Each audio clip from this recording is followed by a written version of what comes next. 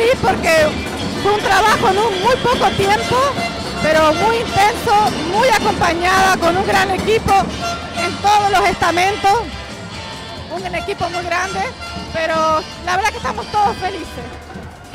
Estábamos esperanzados, pero esto nos superó.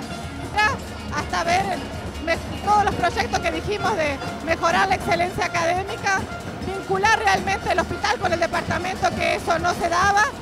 En realidad son muchas cosas, pero bueno, la felicidad es muy grande.